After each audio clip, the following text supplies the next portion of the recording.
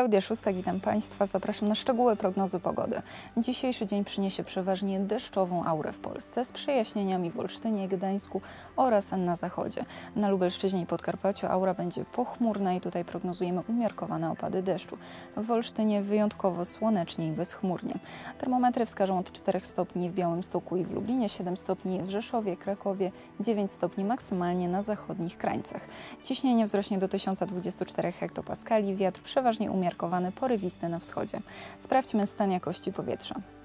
Dzisiaj według Krajowego e, Indeksu Powietrza i Wód bardzo dobra jakość czeka mieszkańców Białego Stoku, Lubelszczyzny i Kielc. W pozostałych regionach jakość będzie gorsza, przede wszystkim na południowo-zachodnich krańcach. Dziękuję za uwagę, do zobaczenia.